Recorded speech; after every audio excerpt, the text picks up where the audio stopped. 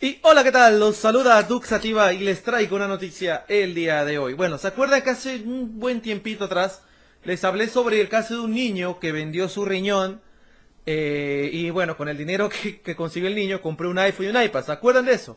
Bueno, pues en China va a haber ahora un juicio, un juicio, sí, por de una adolescente la cual eh, vendió su riñón y bueno, pues y ahora la la gente de China, el gobierno chino va a demandar a este cirujano y a las personas que estuvieron con él, ¿no? Prácticamente de una u otra manera haciendo eh, venta de órganos, ¿no? Ilegalmente.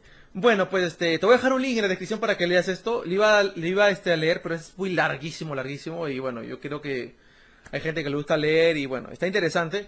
Pero un resumen un poquito, que hablan de un doctor que la cual ganó como unos 7 mil euros haciendo por cada transacción que hacía, inclusive con la del adolescente que está demandando. Y bueno, pues el gobierno chino va, a poner, va a empezar a hacer este tipo de demandas, ¿no? Porque normalmente en China, eh, por ejemplo, un, por ejemplo, a mí me falta un riñón. Hablo con mi doctor y mi doctor automáticamente se iba a un chat en China, internet y decía, ¿sabes qué? Ofrezco dinero por un riñón y tal, ¿no? Y prácticamente la gente decía, yo vendo mi riñón por tanto, tanto, y ya pues. Y así. Esto es lo que ocurre en China, así que le voy a dejar el link en la descripción para que lean el artículo, está bueno. Y pónganse a pensar, no vender ni riñones, ni hígados, no sé, cualquier toncera. Sus órganos son suyos.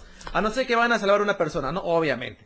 Así que me despido, Fitdux activa, like, favoritos, comenta.